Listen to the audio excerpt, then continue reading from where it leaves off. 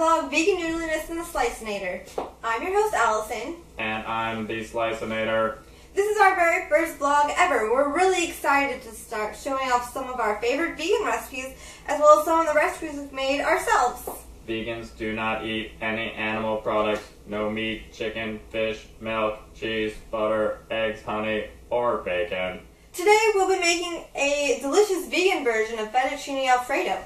The recipe we are using is based on a recipe by the Comforting Vegan blog and we made just a few tweaks for our personal preference. It was inspired by the Olive Garden fettuccine alfredo and I give this recipe 5 transistors up. So even though this recipe is vegan, it's no way at all considered healthy. Um, the recipe is made for like a romantic special occasion or times when you really just need comfort food. Anyway, if you make this recipe, you have to promise us that it'll run about five miles.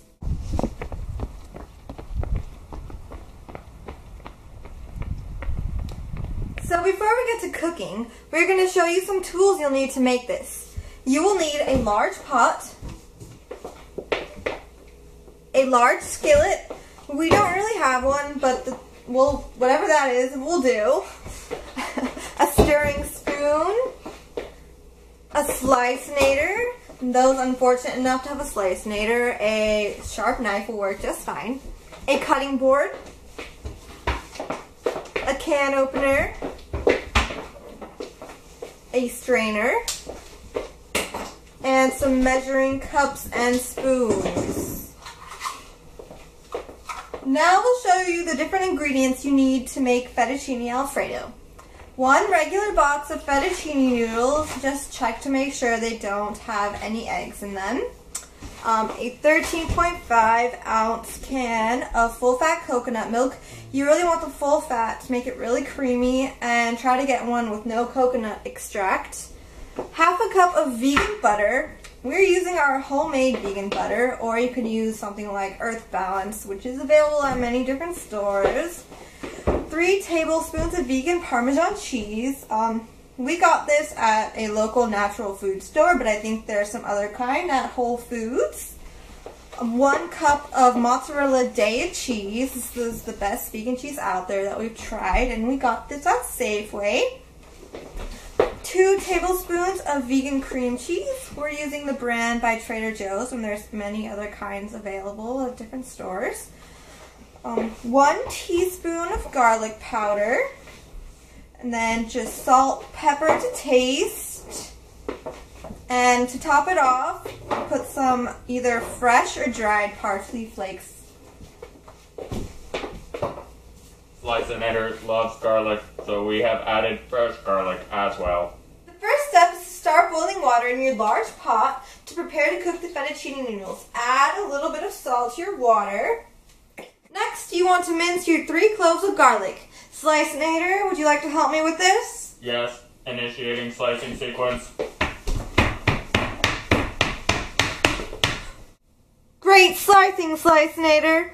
Add half cup of vegan butter to large skillet and turn the heat up to medium low.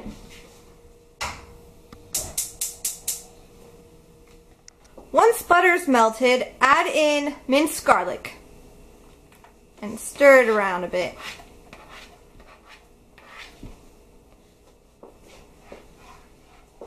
Once the garlic is soft and the room smells heavenly of cooked garlic, stir in the coconut milk.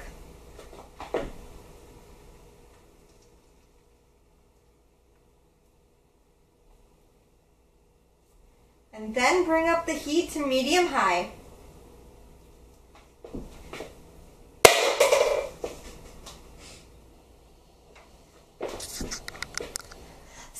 Around the coconut milk mixture until it gets warm.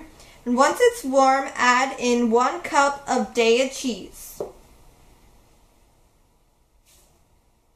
And stir that in there. Add one teaspoon of garlic powder and salt and pepper to taste. Add in two tablespoons of vegan cream cheese. Once everything is well combined and melted, turn the heat off and set aside until the noodles are ready. Once water is boiling, add in fettuccine noodles.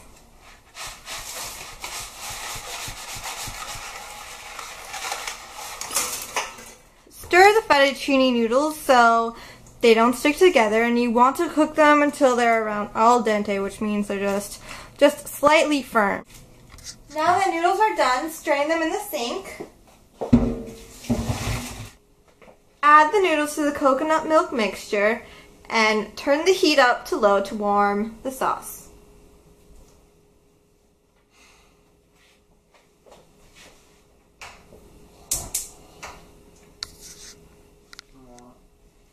Stir the pasta around in the sauce to fully incorporate the sauce and the noodles.